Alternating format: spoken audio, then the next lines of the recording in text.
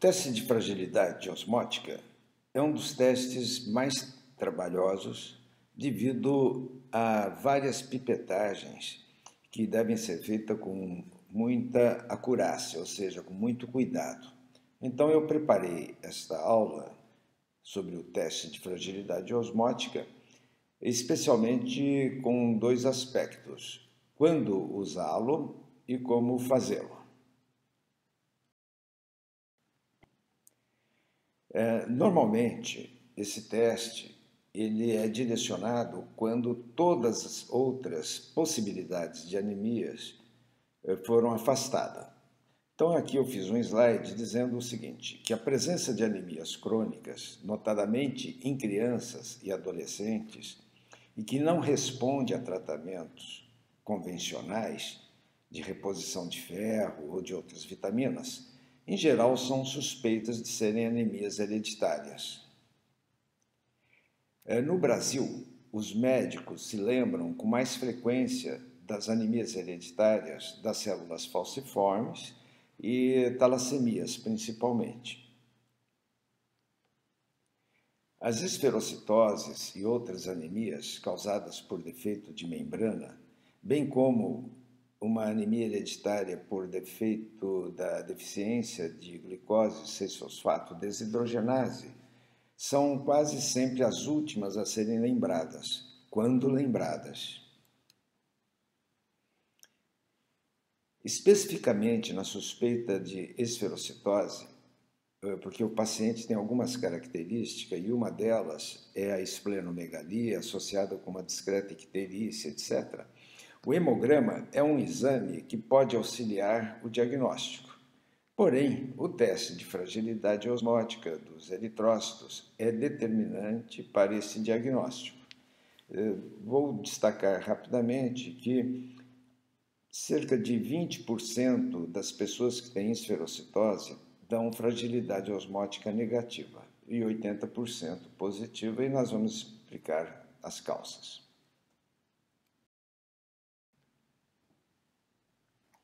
Três sensíveis indicadores laboratoriais de anemias por defeito de membrana. Nós temos a esferocitose, a eliptocitose e a piropoiquilocitose, que estão representados nas fotos embaixo. Entretanto, quando você analisa o resultado do eritrograma, primeiramente, os três casos têm anemias, geralmente discreta até moderada. Um detalhe fundamental é o, a concentração da hemoglobina puscular média, a CHCM, tem valores no limiar da, do seu padrão, ou superior ao padrão. E a terceira situação é a citologia dos eritrócitos, que não deixa margem às dúvidas. A maioria dos eritrócitos nessas doenças são deformados. Por exemplo, na esferocitose, mais de 25% são esferócitos. Na piropoiquilocitose, é essa diversidade de células, geralmente hipercrômicas, mas a maioria esquizocíticas, com alguns dacriócitos. E na eliptocitose, não há nenhuma dúvida na forma elíptica, geralmente hipercrômica das células.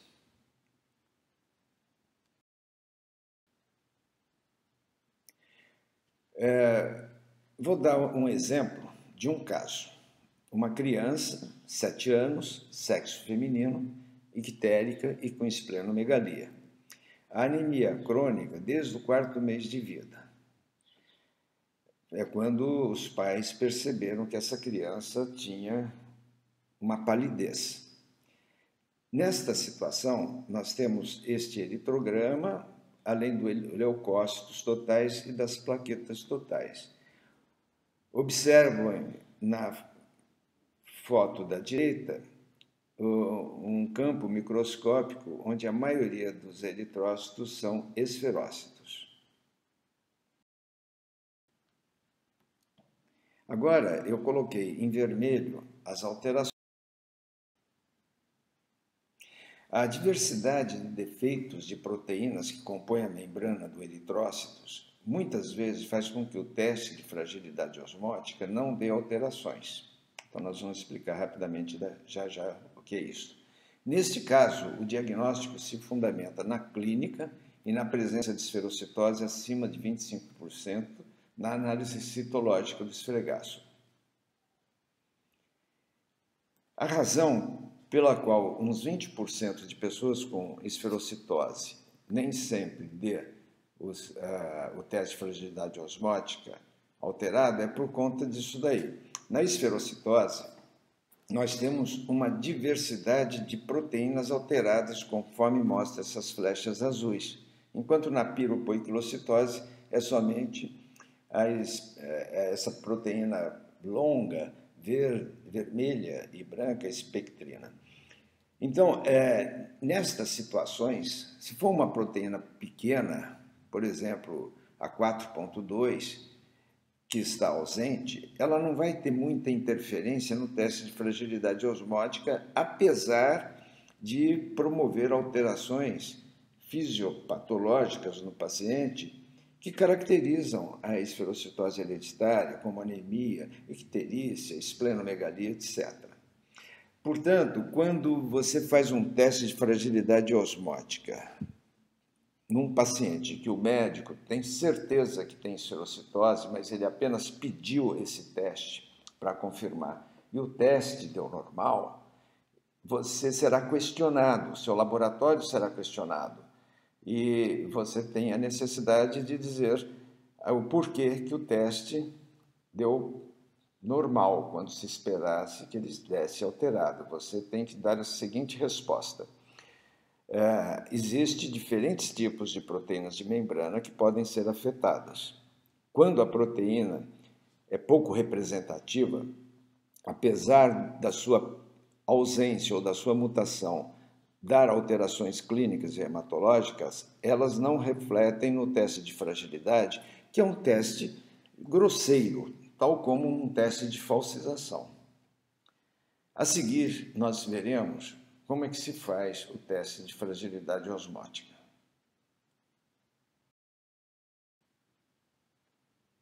Então, ele é um teste específico para comprovar anemias causadas por defeito de membrana, com destaque para esferocitose hereditária.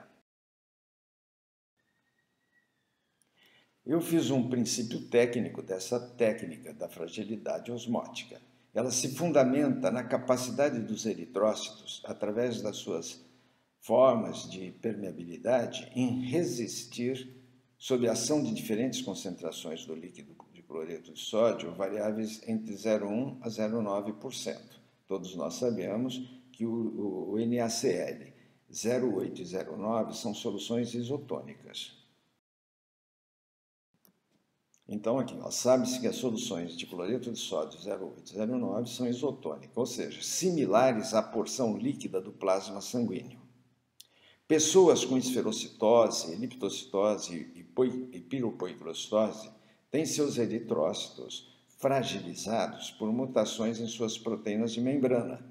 E, nesse caso, ocorre um aumento do risco de hemólise quando comparado com o sangue de eritrócito mais, como eu vou mostrar nesse exemplozinho muito simples a seguir. Olha aqui, eu estou dando um exemplo de hemólise em amostra do, de um sangue controle, que a gente sempre, quando vai fazer o teste de fragilidade osmótica, você usa um sangue controle.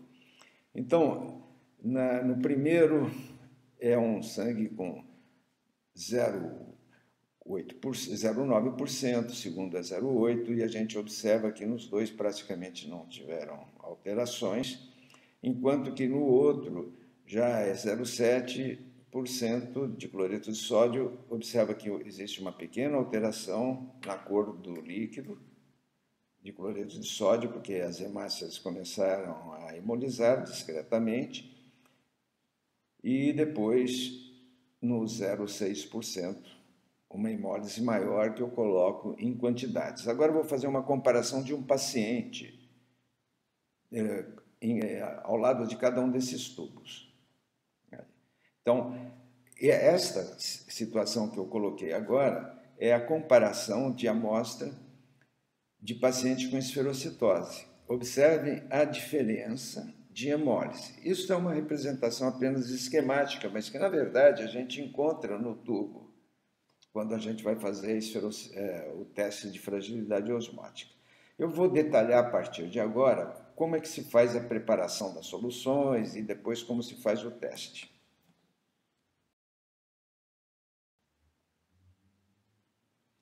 A preparação das soluções de cloreto de sódio ela tem que ser muito bem feita, não pode ter erro. Então a gente usa balões volumétricos e água destilada ou água deionizada. Aí não, não tem problema, a água tem que ser muito bem preparada também. Então se coloca 10 gramas de cloreto de sódio para análise, que é, é próprio para laboratório, e dilua com 1 litro, 1000 ml, é, quantidade suficiente para completar 1000 ml com água destilada em balão volumétrico. Isso daqui nós chamamos de solução mãe. Esta solução ela deve ser guardada preferencialmente na geladeira e se por um acaso formar cristais, é, se coloca esse balão num banho-maria por alguns minutos, esses cristais se dissolvem e a partir de aí nós vamos fazer a distribuição das diferentes concentrações de cloreto de sódio, como estou mostrando agora.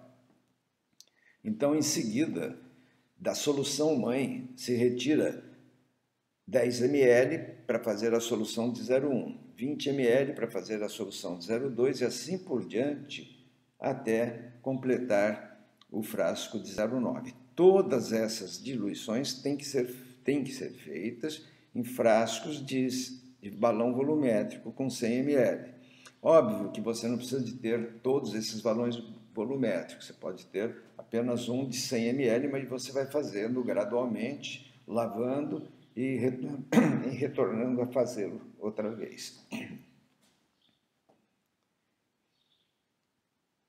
É, uma outra coisa importante é a identificação para não se perder diante de tantas pipetagens de preparação. É, você pode fazer também o seguinte: quando você prepara uma solução é, de cloreto de sódio nessas diferentes concentrações, tendo 100 ml, você vai transferir desse balão volumétrico para um frasco, porque você não vai usar tudo isso daqui numa dosagem.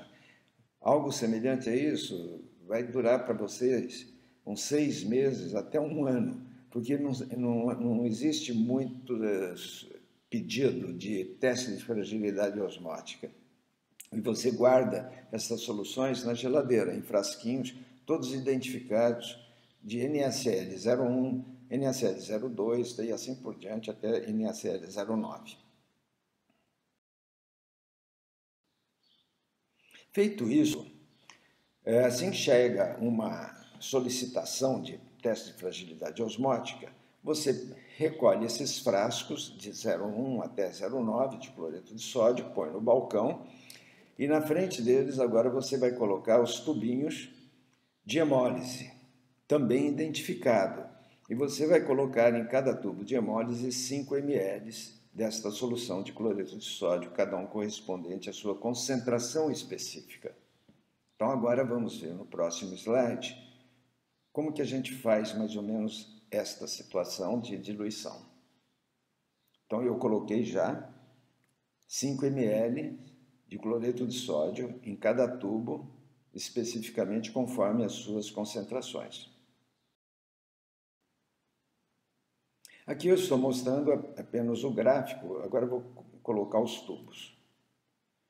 Coloco os tubos e em Catuba você está vendo uma manchinha vermelha no fundo que corresponde a 50 microlitros de sangue total. Eu coloquei em cada tubinho, com pipeta muito sensível, 50 microlitros, igualzinho.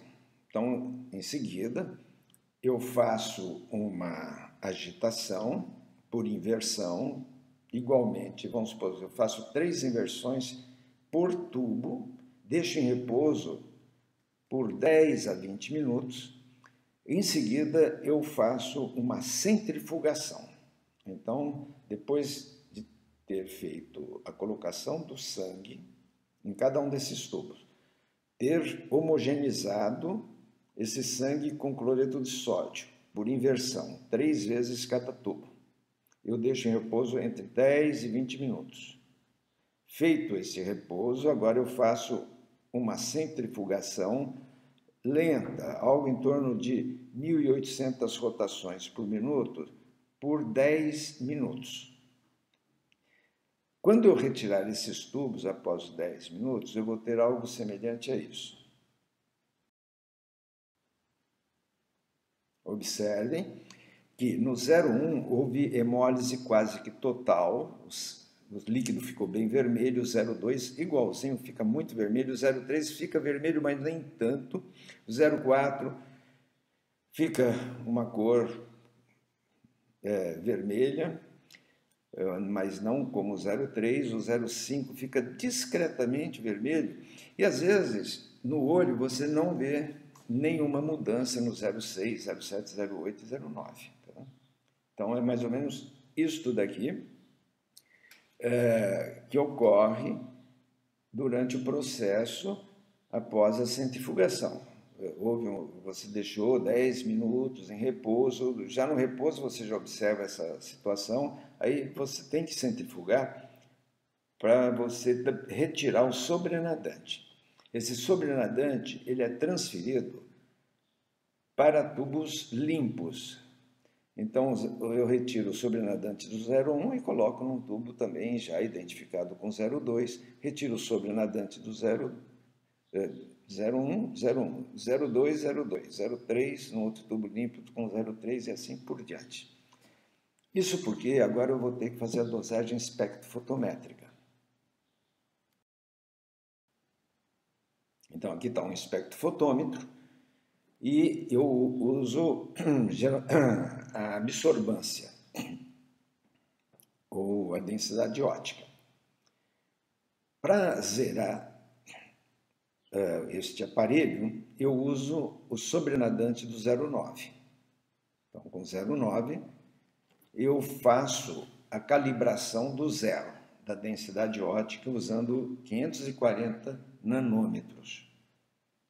Então, é o 09 que eu uso. Para saber uh, o máximo da hemólise, que seria o 100%, eu vou usar o 01.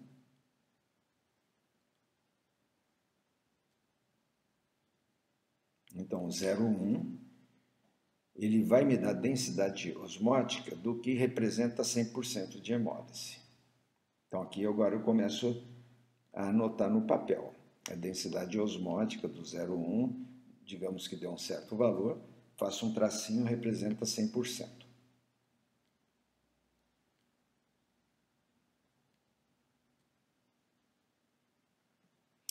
E por meio de cálculo de regra 3, em que a densidade osmótica do tubo com sangue diluído em cloreto de sódio 0,1 representa 100% de hemólise, calculam-se para cada um dos tubos que agora eu vou dosando as suas respectivas hemólises, como eu vou mostrar no próximo slide.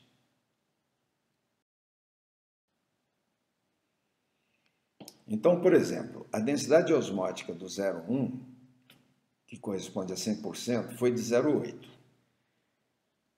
A densidade osmótica do, ou da densidade ótica, desculpa, do tubo de cloreto de sódio 0,2 também foi de 0,8, a do 0,3 deu de 0,7 e assim por diante, até que você observa que a densidade eh, ótica do cloreto de sódio 0,8 foi zero.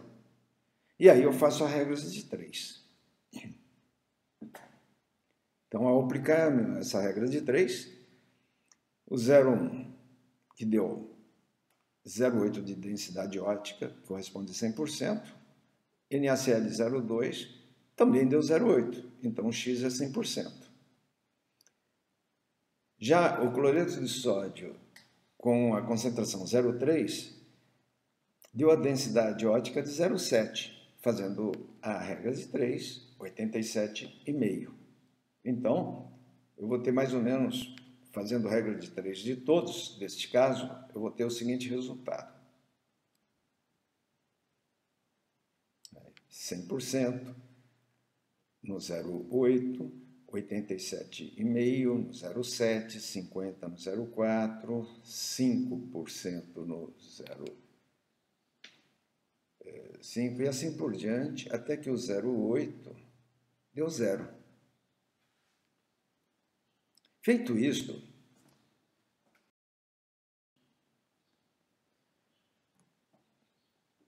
para o gráfico.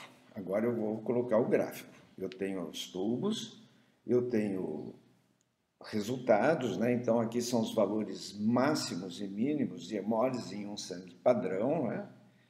E, e, é, porque quando você faz um teste para esferocitose, você tem que fazer uma curva padrão. Você tem que usar 10 amostras de sangue coletadas recentemente, no mesmo dia, você não precisa de fazer as 10 no mesmo dia, porque é uma loucura. Você não vai conseguir. Você faz uns dois, duas amostras num dia, três amostras no outro, e até conseguir os 10. Conseguindo os 10, você vai ter todos esses resultados que você vai colocar em pontos, e esses pontos interligados nas suas amplitudes vão lhe dar o que a gente chama de curva padrão. Tudo que cai dentro dessa curva padrão é normal. Se cair fora à direita, aí é esferocitose hereditária, a curva de fragilidade osmótica positiva para esferocitose.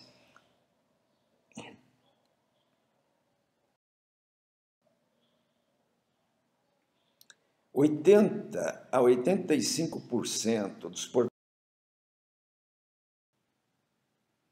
Então, a emissão do laudo é fundamental que se coloque os resultados numéricos, sempre como padrão. Né? Observa que o 01 e 02 geralmente são 100% de hemólise. O 03, 70, 90. E você observa que na amostra analisada, na hemólise analisada, há umas valores muito superiores aos valores padrões e do lado eu coloco a curva. É assim que o, o médico gosta de receber o resultado.